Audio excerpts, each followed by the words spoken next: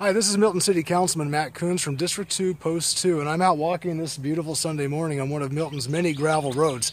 And there's been a lot of talk about the protection of our gravel roads and trying to maintain it to one house per three acres. And there's something to be said about that, but there's a problem with it too. It's more important that we recognize that the pasture behind us, that you'll see here, might disappear still with an AG3 zoning.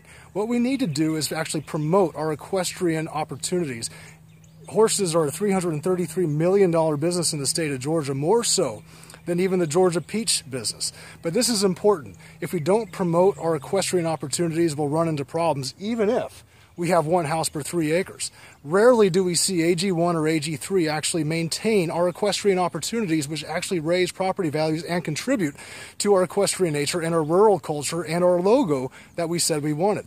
Fortunately, I proposed in August the Milton Equestrian Committee, and we actually voted on that in December. We're now going through the process of appointing our Milton Equestrian Committee appointees to come up with ideas that can maintain what you see here.